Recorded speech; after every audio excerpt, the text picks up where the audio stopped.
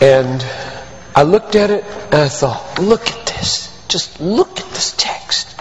This is incredible. Everything's here.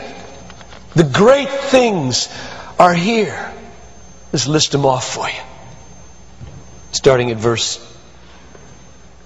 12. Death, sin, life, God, Christ, mortal bodies, desires, law, grace.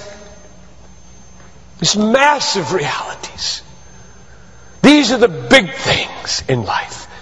These are the huge issues. And as I meditated on it, I thought, you know, as I stand there tomorrow morning and say that, there are going to be people in this room who don't care about this at all.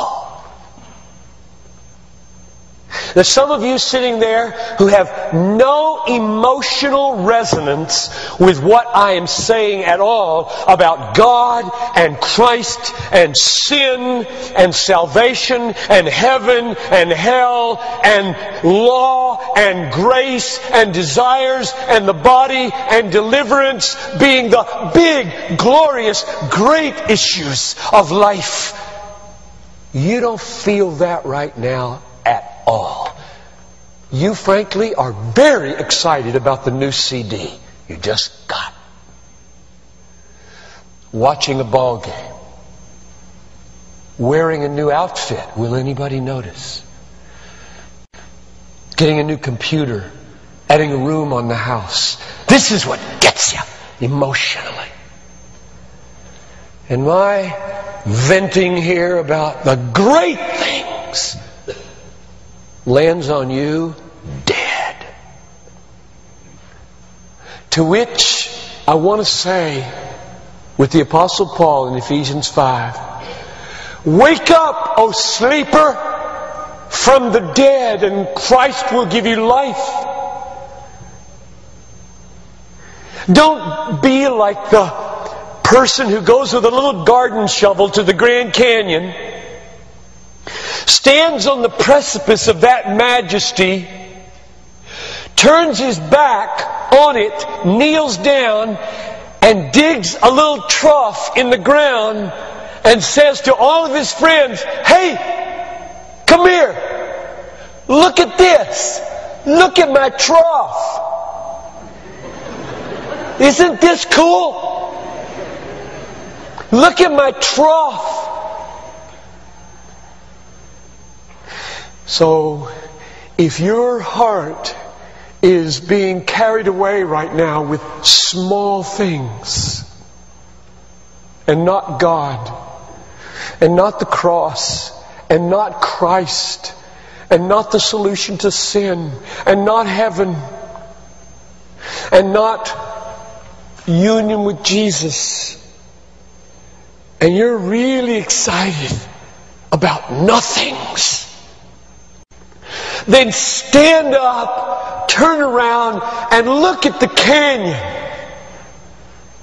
Look at the canyon this morning.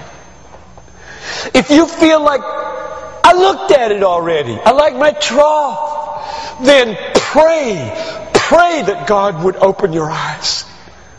Look, this is not, this is not funny at all. Because sin has such a power over our lives that it takes our minds, it takes our hearts, and it just shrivels them up. So we have no capacity to enjoy God, no capacity to marvel at grace and salvation and the new heavens and the new earth and tears being taken away by King Jesus someday. And all we can get excited about is troughs and trifles in our lives. That's sin.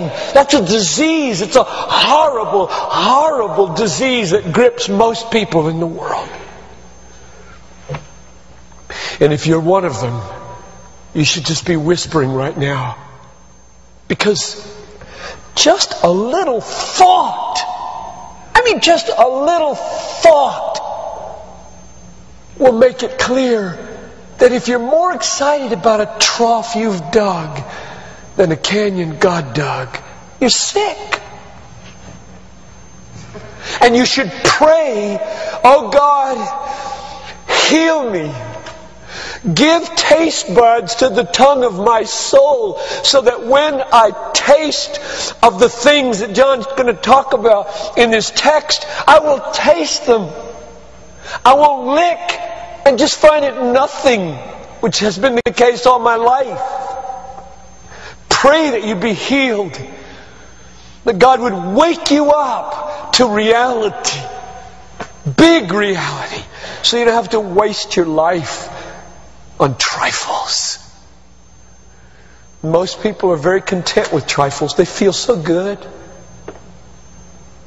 And they have no taste for God. No taste for heaven. No taste for holiness. No taste for righteousness. No taste for Christ. No taste for justice in Him. No taste for heaven. No fear of hell. They're blind. We're going to spend two weeks on this text. It is so dense with reality.